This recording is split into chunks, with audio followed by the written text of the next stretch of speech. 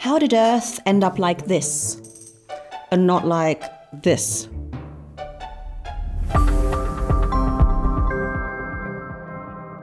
Like Goldilocks' famous bowl of porridge, the home we know and love is located not too close and not too far away from the sun, but at just the right distance for liquid water to exist on its surface. Any closer to the sun, and the water would vaporize. Any further away, and it would freeze. Sure, Earth's location in the sun's so called habitable zone is one of its main appeals as far as life is concerned, but it can't be the whole story. We know many planets that are located in their stars' so called habitable zones. In fact, even our neighbour Mars is located at the cold end of the Sun's habitable zone. But none of these planets look anything like Earth. Just like you need a recipe to bake the perfect cake, you also need a recipe to build the perfect habitable planet. But what is it? Every recipe needs ingredients. And to find ours, we need to go back a whopping 4.6 billion years, back to when the solar system was just a blur, or rather a cloud of dust, so rock and ice and gas, hydrogen, some helium, and smaller amounts of heavier elements such as carbon and iron. If you want to know where these elements came from, check out this video. So these are the basic ingredients we need to make the Earth, the Sun, and the entire solar system. All we need to do now is bring them together to bake an Earth. Under the influence of gravity, the ingredients collapsed to form a spinning disk surrounding a big lump. This lump of matter continued to draw more matter in, becoming more and more massive, heating up, becoming more dense, until finally, at its very center, the temperature and pressure were big enough for hydrogen to fuse into helium a baby star was born at the center of our solar system, the Sun. Today, the Sun takes up a staggering 99.9% of the material in the original cloud. Only 0.1% that remained further out in the disk started to form first pebbles and then, through collisions, larger bodies.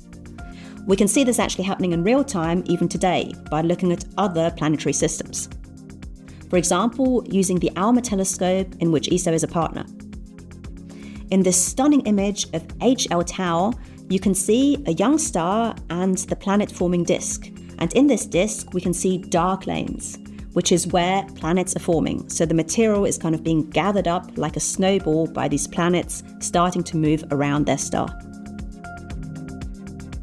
It's like we're looking back into the past of our own solar system. And coming back to that, what happened there is that close to the sun, it was very hot, so only molten planets formed near to the sun.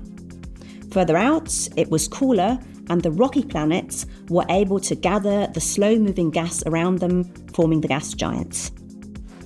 These gas giants, in particular Jupiter, have had a huge influence on the inner part of the solar system, including Earth. In fact, because it's so big and so massive, Jupiter acts a bit like our personal protector, deflecting asteroids and comets away from us, and keeping the inner planets on stable orbits. But, like every good baker knows, just having and combining the right ingredients isn't enough. You also need time. The Earth didn't look like this when it formed, or for a while after. In fact, for a long time, the Earth probably looked more like this a barren, molten, hellish world, which is why geologists refer to this period as the Hadean period, after Hades, the lord of the underworld.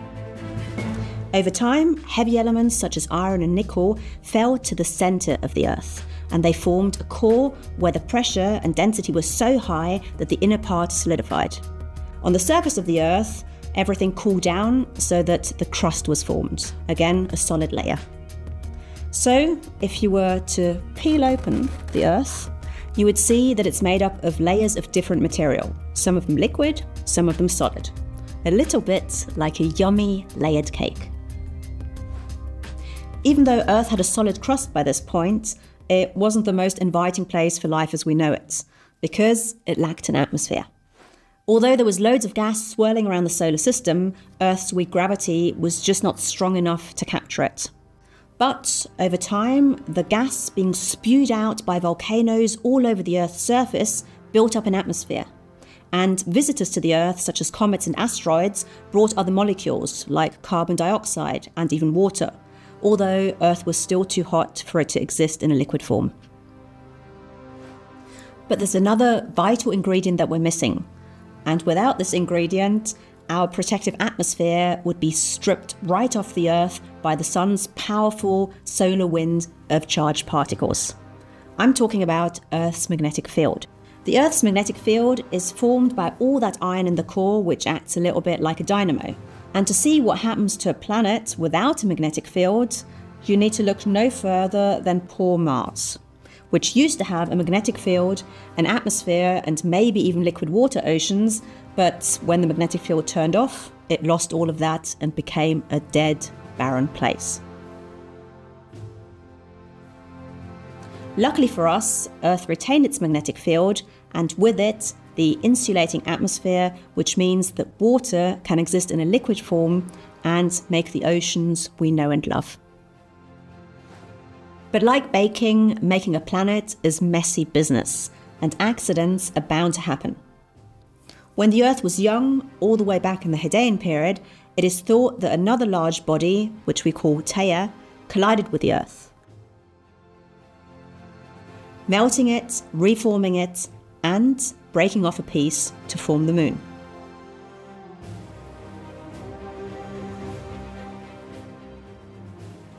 While this sounds horrible and devastating for Earth, it was actually a good thing for us because the moon steadies the Earth as it spins on its axis and also stabilizes its climate, allowing life as we know it today to form. There's no one thing that makes the Earth a special place. Instead, it's the unique combination of different ingredients.